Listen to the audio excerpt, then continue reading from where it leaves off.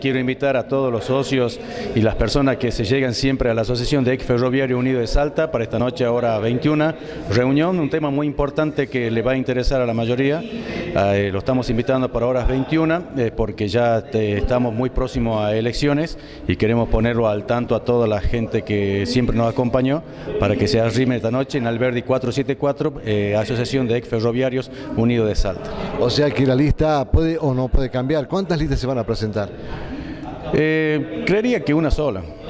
Eh, de acuerdo al estatuto, de acuerdo a cómo estamos eh, viendo el sistema, de cómo están los socios y todo, creemos que se va a presentar una sola lista.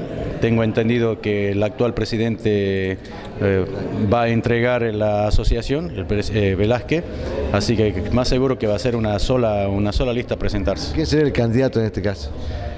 Y creo que eso vamos a consensuar ahí eh, con el resto de la comisión, eh, el candidato, pero no descartaríamos que estaría entre quizás Aldo, otra de las personas y quienes habla también, ¿no?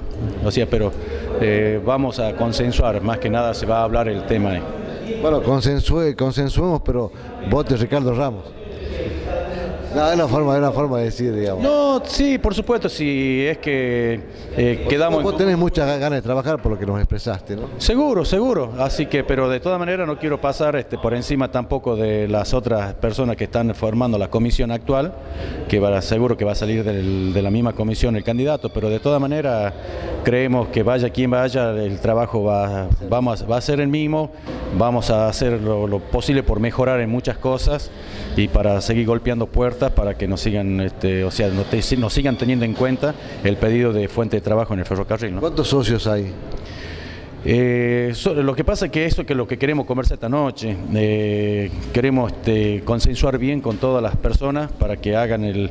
Nosotros nunca cobramos la cuota de socio, lo único que se llegó a un, a un momento que la gente que entró a trabajar al ferrocarril hicieron llegar un aporte voluntario, de las cuales ya después la mayoría no dejó de, aportar y ahora necesitamos este, conversar con todos los chicos eh, y las personas que van con respecto a esta cuota para normalizar el tema de la contaduría, de los libros y todas esas cosas. Así que lo invito esta noche, 21 horas, en la Asociación de Ferroviario Unido de Salta, este, Alberdi 474.